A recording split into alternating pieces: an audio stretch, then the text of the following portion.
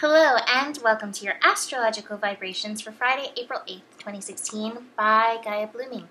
I am Mimi, and our energy mantra for today is I am my worth warrior.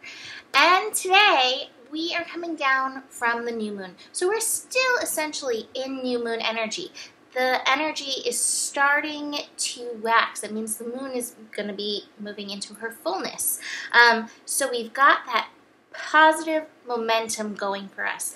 And today we have a 19 degree day, which is a degree aimed at knowing and owning our worth. One in nine, you're a 10. And I love this. The Astro's so working for us in this energy. We have the moon in Taurus, the sign of knowing and owning our worth.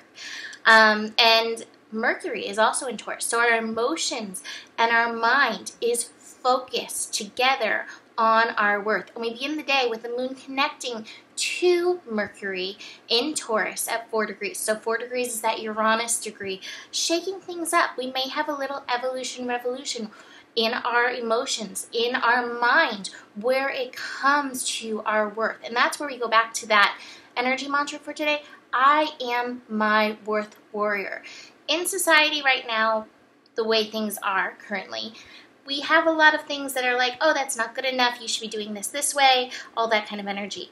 But this gives you an opportunity to take back that power, because that's really what it's about, is taking back that power and recognizing it doesn't matter what society says.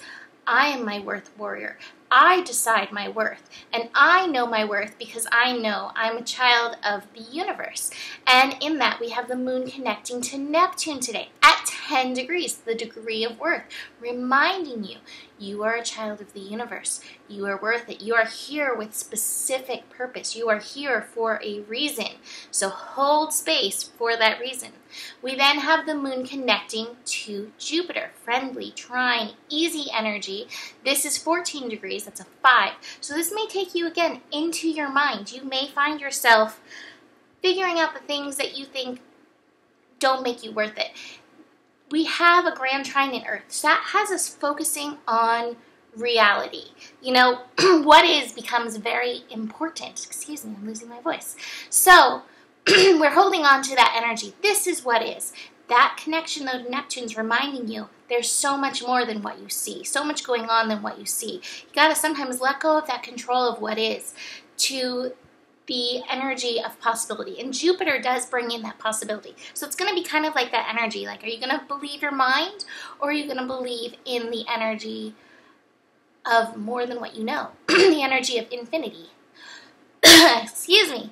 Um, so we also have today, we have the sun building to Uranus, which is also helping take us beyond reality. Uranus is like, hey, you know, there's laws of the universe that don't have to be followed. Uranus is the only planet that goes like in its complete own direction.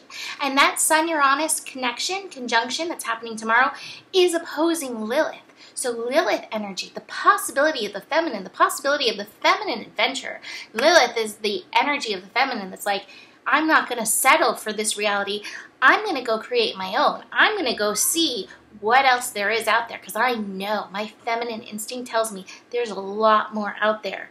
That Lilith energy is feeding into this revolution evolution energy that's asking us to shift ourselves. This is also at going to be at 20 degrees this connection between the sun and Uranus and the Lilith energy and that 20 degrees is the degree of finding the comfort of owning your feelings. So don't forget your feelings in this process of working through this and on this. So in that, I am going to get to the cards. Flowering, flowering into who you are. Building, look, we're building into the fullness, the fullness of our beingness, the holiness of our beingness.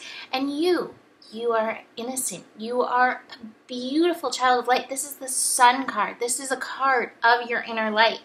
You are a master. You have this master energy in you, available to you at all times, and you are whole and holy, the maturity card. But sometimes we forget this because we play this game of society. We play the comparison game.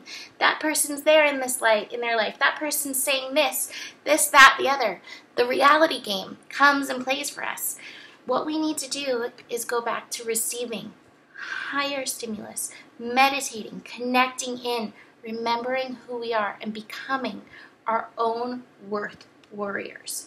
And so that's really the energy today. Take it back to you. Take it back to your own personal worth.